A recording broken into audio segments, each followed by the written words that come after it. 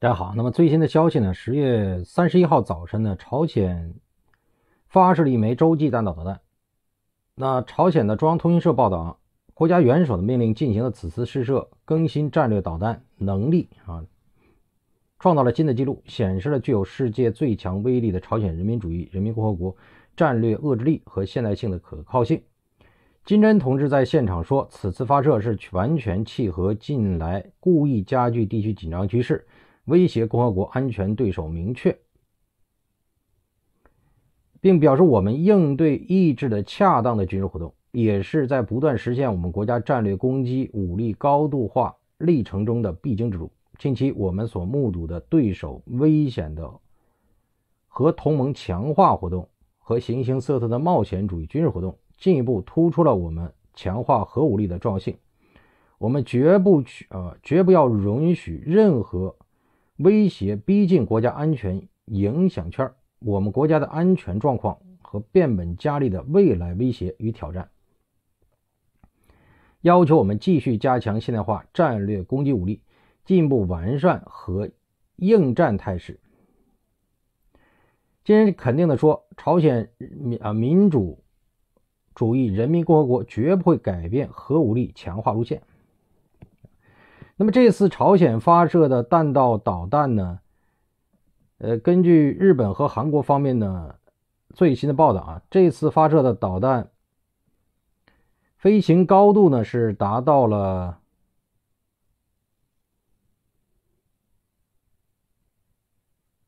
七千公里啊，飞行约七千公里。呃，目前呢是飞行八十六分钟。远地点高度是七千公里啊，所以它的射程只有一千公里，因为它有一个大的抛物线啊，是向上，在朝鲜半岛向上啊飞了七千公里，然后再落回啊一千公里之外的这个近地点。那么它的这个落点呢是在日本的西部啊，朝鲜半岛和日本海啊之间这个位置，是在凌晨的。五点啊，五点十分左右发射，啊，主要是回应啊，美国和韩国之间危险的举动，啊，目前呢，现在，呃，韩国发射这个导弹没有对日本和韩国相关的设施啊和相关的这个领海内人员造成任何威胁。那金正恩呢？现在呢，加强了自己的安保啊。根据韩国的情报机构的判断啊，领导人金正恩的女儿地位最近有所提高。那他的女儿呢，正准备啊成为新的继承人。金珠爱呢，呃，最近呢也参与了俄罗斯驻朝鲜大使馆的一些交谈活动，还与金正恩一起出访，并有官方啊发布的照片，那证实啊，这个金珠爱呢很有可能会。呃，接替金正恩，也就是他的很多的这个公开的一些行动啊，和公开的照片显示，金珠爱啊，目前正在培养成为呃金正恩的实际的继承继承人。呃，金正恩是有一个儿子的啊，就是金正恩在接替他父亲的第一年，实际上就已经生出了一个儿子，但是这个儿子不知道为什么现在是。保密状态，没有对外公开任何图像和照片。呃，随后呢又生个二女儿，二女儿就是这个金珠爱。啊，金正恩现在有意培养这个二女儿。那么这个老大他这个儿子啊，出生以后呢，这个金正日就死了。那金正是金正日是看到金珍已经生出自己的儿子接班人啊，他才去世的。那么也就是说，朝鲜实际上是有男性继承人的啊。那么现在。为什么选择金珠爱啊？或者为什么把金珠爱的地位提高？很有可能也是为了这个自己的这个长子未来继承啊，要铺路。所以金珠爱他实际上可能是为了自己的这个啊哥哥啊金砖的长子未来获得权利要进行铺路啊，也有可能这个方向。那目前朝鲜半岛的局势呢？还是相对紧张的啊。那么俄罗斯方面的副外长鲁登科啊访问了北京。鲁登科呢是与中共政治局委员、外交部长王毅于三十号周三举行了会谈，双方讨论俄乌战争，并确认两国的全面战略伙伴关系。俄罗斯媒体呢表示，这一次鲁登科访问主要是回应啊美国在朝鲜半岛问题上要求中国，呃对朝鲜出兵俄罗斯，啊配合美国。俄罗斯方面很快啊就派出副外长鲁登科访问北京。来和中国方面解释，并和中国方面进行沟通。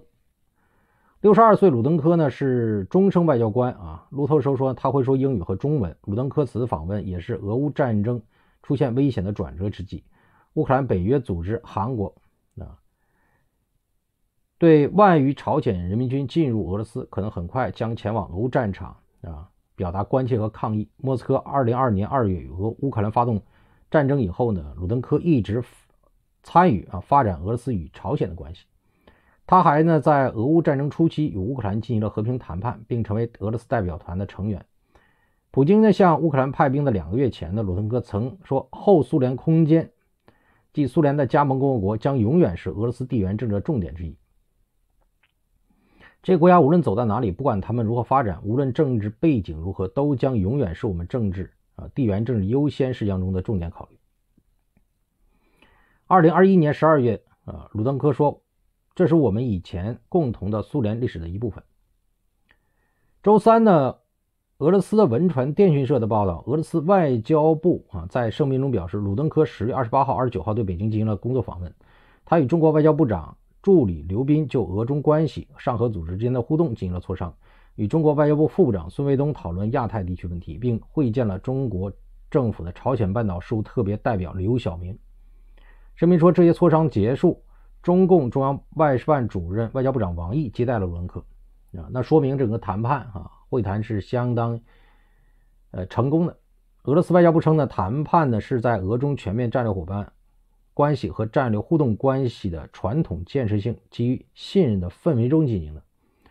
李晓明会晤中呢，双方对次区域朝鲜半岛紧张局势升级表示担忧，这种。紧张局势是由美国及其盟国危险的加强联合军事活动以及他们的建立军事政治同盟加剧造成的。这种同盟损害了其他东亚国家的安全。俄罗斯外交部的声明表示：啊，实现朝鲜半岛和平稳定、消除全面武装冲突的风险，需要华盛顿及其盟友放弃集团对抗路线，不再推行啊引发冷战式对抗的基于规则的世界秩序。俄罗斯和中国正继续密切协助、协调和互动。包括在联合国寻求朝鲜半岛和东北亚地区建立公平的、不可分割的安全体系。中国外交部网站的说法呢？中国外长王毅表示，中俄元首在喀山举行的年内第三次会晤达成新的重要共识，双方要共同努力筹划啊，统筹协调好各领域合作和各层级交往，把两国元首的共共识落到实处。中国外部网站表示，双方呢就俄问题交换了意见。那朝鲜呢，向俄罗斯派出了一万人左右的部队啊，其中一部分正前往俄乌战场。随后遭到美国啊和北约的证实。美国务院发言人马修·米勒十二十八号对记者证实，华盛顿明确向北京表示，我们对此感到关切，而且他们应该为其两个邻国俄罗斯和朝鲜破坏稳定的行动感到关切。乌加大楼九啊十月二十九号表示，少量的朝鲜部队约三千人已部署至库尔斯克。边境约三十公里处，可能啊用于对乌克兰作战。乌加大楼新秘书莱德告莱德少将告诉记者，有迹象表明库尔斯克已有少量朝鲜军队到达，还有几千人正在抵达或即将到达。那么我们仍然担心俄罗斯打算利用这些士兵参与对乌克兰的战斗啊或支持战斗行动。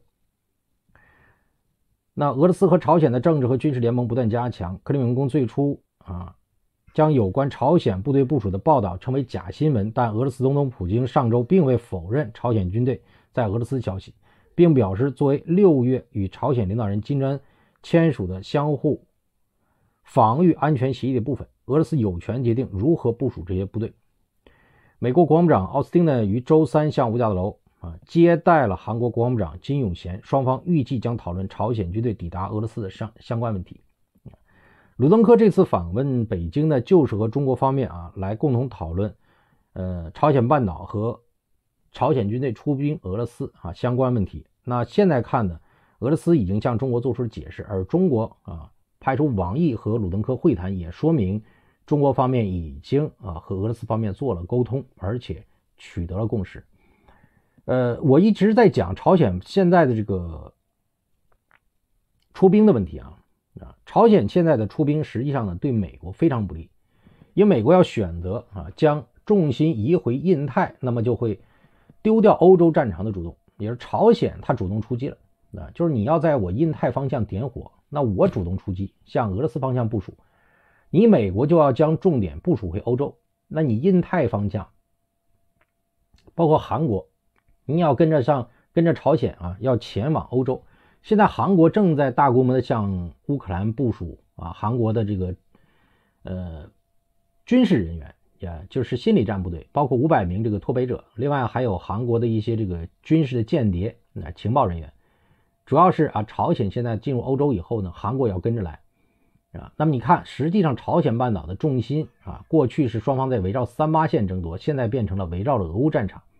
那么这个实际上就把美国的重心转移回欧洲了啊。所以我一直在讲，就现在看啊，朝鲜这次出兵只有一万多人，但是起到了很好的效果啊。因为美国是想点燃亚洲的啊，特别是联合着日本。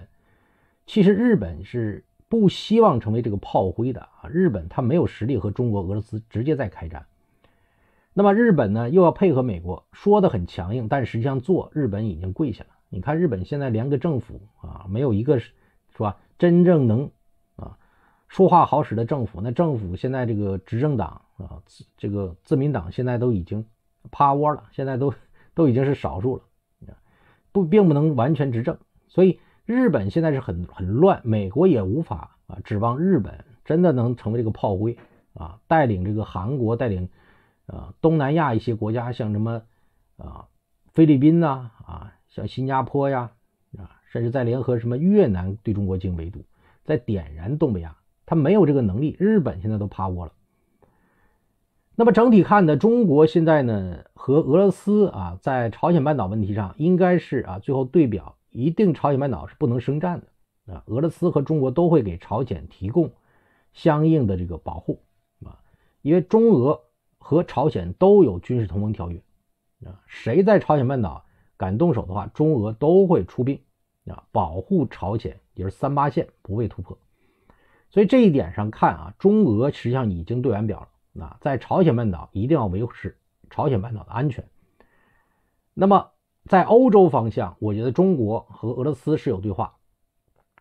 这个东西也要是要做给美国看。鲁登科来，中国方面也提到了俄乌战争，希望能够缓和局势。说实际上这个话说完了，也就是给美国啊一个交代啊，你不是让我关切吗？那我也关切了。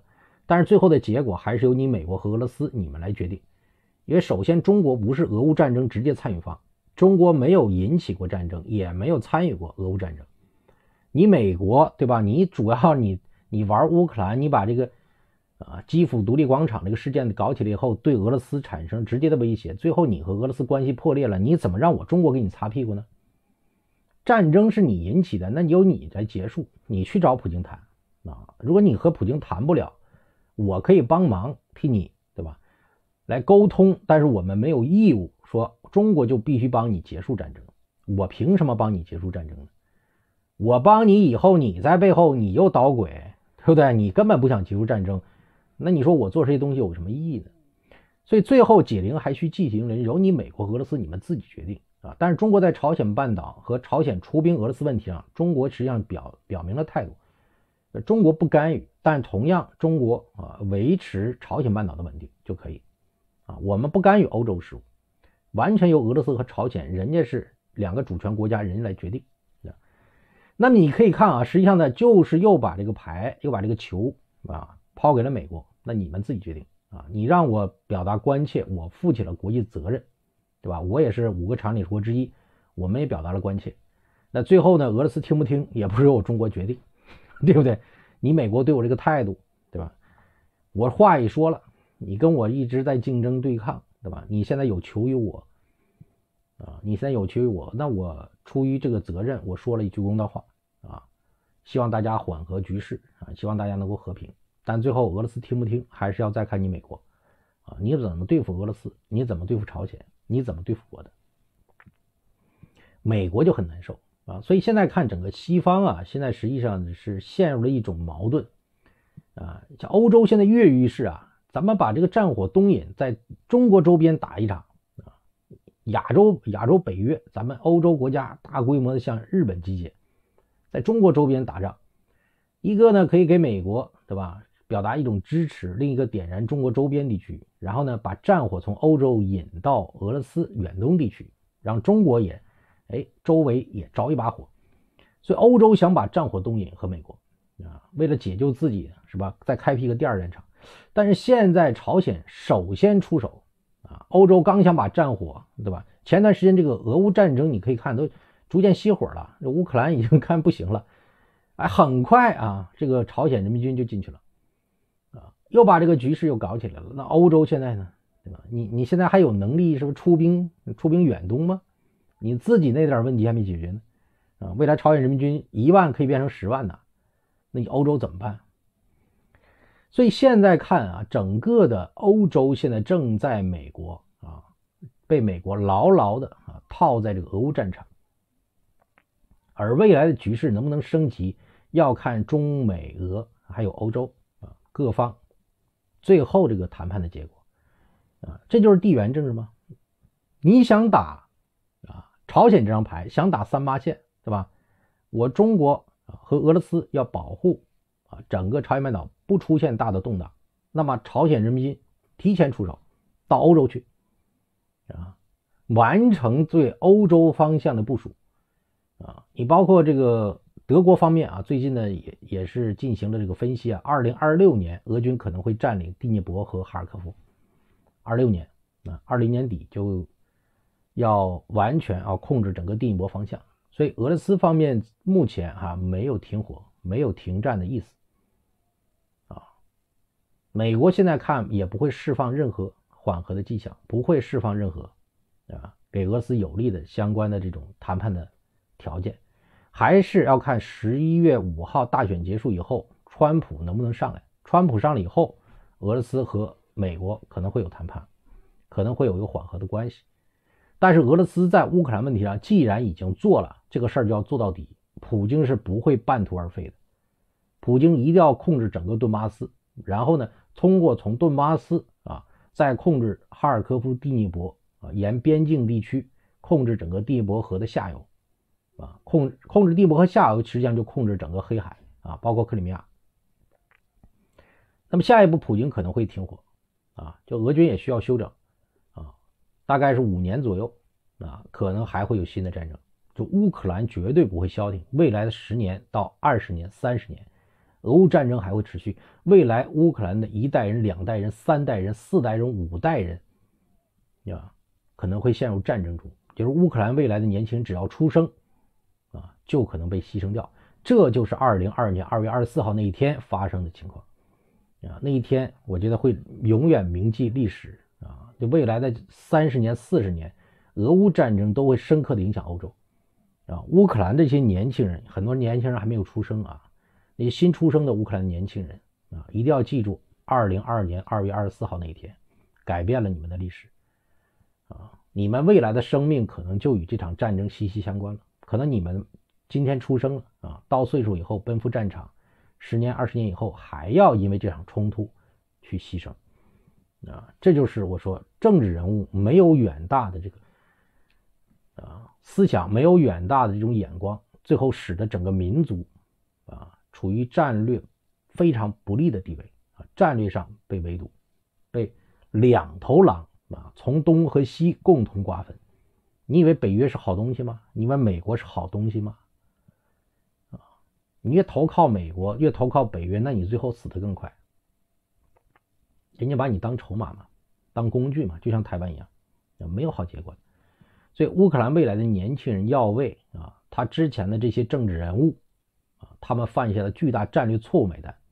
用什么买单啊？用生命去买单。目前已经死了几十万人，后面还会有。一代人、两代人，而俄罗斯既然已经开始了，不会停止。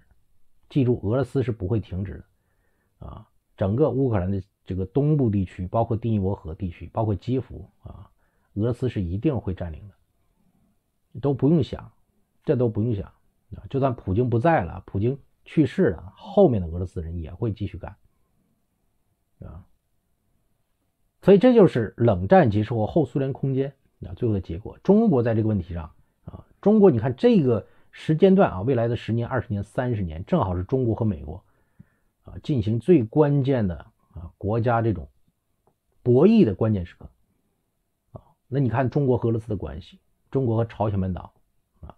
所以我说，俄乌战争未来只能是升级，中国绝对不会停止俄罗斯的合作。那么，美国想点燃东亚，想点燃印太，在朝鲜半岛开辟一个第二战场，中国、俄罗斯也绝对不会同意。啊，最关键的是台湾问题，中国的核心问题。那现在有了朝鲜的出兵，啊，有了朝鲜这个情况。我觉得美国他现在也不敢轻易的点燃台海，因为美国绝对不能让中俄结盟啊。这个时候美国是关键啊。共和党川普上台，我觉得是现在一开大概率事件，因为朝鲜一出兵，川普就赢了。你看看现在美国国内整体的这个意识形态，你看美国国内整体的这种宣传，所有的人都看懂了，只能让川普上来啊。因为川普是和金正恩握过手的，你看看拜登那帮人。那个老登是吧？和习近平对吧？握手一个一共就好像是三次，都没访问过中国。那老登民主党，所以你看共和党反而呢跟谁都能对吧？都能见面，都能谈，反而有利于美国在这个问题中，特别是已经把美国僵到这儿了，让美国有一个柔软的身段可以摆脱这个陷阱。所以川普上来对美国更有利。你看朝鲜一出兵啊。俄罗斯总统普京和朝鲜金正说白了和习近平都有过沟通，朝鲜一出兵，川普就稳了啊！现在果不其然，你看川普现在支持率，啊，就是这个老登民主党把事情做绝了啊，跟这个斗斗，跟那个斗，对吧？是吧？跟俄罗斯跟中国好像敌人一样，都不能见面，对吧？天天骂人家，你说你你骂对方有什么用呢？能显示你美国的强大吗？最后战场上怎么样？还是被人套牢了。这是愚蠢的。我这川普这时候反而他这个身段啊更有利。反正咱生意人就谈利益，也没有意识形态，哎，他反而更容易跟这些国家接触。美国大选，我觉得川普获胜率很大啊。另外呢，川普他在谈问题上啊，他在很多问题上，他和中国之间也是有沟通的。啊，所以未来的这个四年，你可以看中美贸易战啊，中美是贸易战还会继续，但是中国早就已经完成了啊。八年以前，川普刚刚打贸易战时候啊，那种的这个产业，中国已经产业升级基本上完成啊。所以，川普和中国未来这个贸易战一定会有新的阶段啊。但是，围绕整个朝鲜半岛、整个台海、印太地区，我觉得中国啊，在整个战略上，特别是外部环境上。已经有了一个非常好的啊一个外部环境，所以目前看美国想点燃这个地区，想把中国堵到墙角很难了。因为中国现在没有和任何国家交战，和任何国家我们都是友好，都是合作，对吧？就现在现在互联网上说有些人国家天天骂中国人，你骂我也跟你友好，因为你挑不出来我的理，那你们和别人的斗对抗和别人对吧？互相厮杀，互相打，你就得求我了。对吧真正要的是里子，不是面子。那中国人很务实，吧？我干干嘛跟你逞那口舌之快呢？啊，最后看最后谁笑到最后啊？我说过，中国的呃，目前这个十年啊，目前这个十年，就中国的人均 GDP 超过两万美元才是中国目标啊。跟那帮国家去打这个口舌啊，谁谁赢谁输啊，谁好谁坏没有意义啊，就是经济上发展。啊，人均 GDP 超过两万美元啊，奔三万美元去。你看到时候那帮国家啊，那帮国家都得挤破脑袋来中国，就想留在中国。人均三万美元，你你以为他们不留在中国吗？那个时候中国就开始清理外国人了得，那帮外国人天天都得舔中国了啊，拖家带口的往往中国跑，生活质量高了啊，再加上人民币对吧？未来那绝对升值的。他赚人民币不比赚那个自己本国那个那张废纸强吗？那一定的，一定的，你到时候我觉得很多外国人，很多外国人对中国的态度也也会变化。那个时候是中国怎么看外国，中国怎么影响你们外国很多国家会跪求中国，你赶快派兵来吧，啊，你像跪求美国一样保护我们。啊，那个时候你看中国在国外啊，整个的影响会扩大。所以中国要的是未来，啊，现在我跟你都友好，啊，咱们不不参与任何战争，但是你想在我这点火也不能啊。我也绝对会不同意，对吧？所以你看，朝鲜问题就影响到整个中国的周边，啊，牵一发动全身，啊，那么这一点，朝鲜啊现在出兵啊，俄罗斯，我个人我是积极支持的。我认为对整个缓和朝鲜半岛还有整个东北亚地区紧张局势是有利的。所有的焦点还是在欧洲，啊，所以你看，欧洲现在，他现在和美国的关系也在变化。因为他突然发现啊，美国可能说咱们先打一打，然后在中国周边再点一把火。欧洲同意了，以为这一打也就是两年多就结束了，在中国周边放火啊，火就烧到中国去了。结果这把火不但没有停，他们要常年烧，要烧个十年、二十年、三十年、四十年，欧洲不完蛋了吗？啊，所以你看美欧之间也有矛盾，就美国也在其实戏耍欧洲。所以我一直在讲，就不要相信美国人战略家给你说那些东西啊，他他妈今天给你承诺的任何东西，你就当放屁就完了。欧洲不就上当了吗？真他妈以为美国啊，只是打两年，对吧？把俄乌战争欧俄乌战争挑点点燃以后，再在东北亚放一把火，然后欧洲火一熄，对吧？主要烧中国。这欧洲一看好事啊，这我这点一把火，然后就烧到中国去了。结果现在朝鲜一出兵，火就烧到欧洲，一直在烧。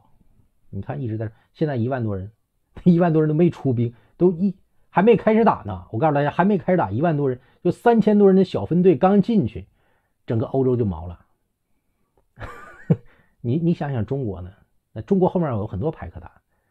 我中国的武器外来进的，呀，我中国卖往你那卖点枪，卖点枪，卖点炮，卖点卖点车，对吧？然后呢，人，对吧？我人。啊，志愿军身份过去，对吧？个人身份过去，你看都可以影响你啊。你你欧洲怎么办？你欧洲安全怎么办？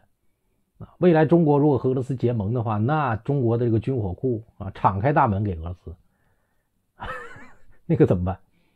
俄罗斯有钱呢，他拿这个能源就可以抵账啊。中国可劲儿给他造不就完了？那你欧洲怎么办？你说中国很多牌可打啊，欧洲一下子把这把火点燃以后，突然发现灭不了。那未来十年，欧洲燃烧啊，这把火灭不了，你欧洲怎么配合美国制裁中国呢？好好想想这问题。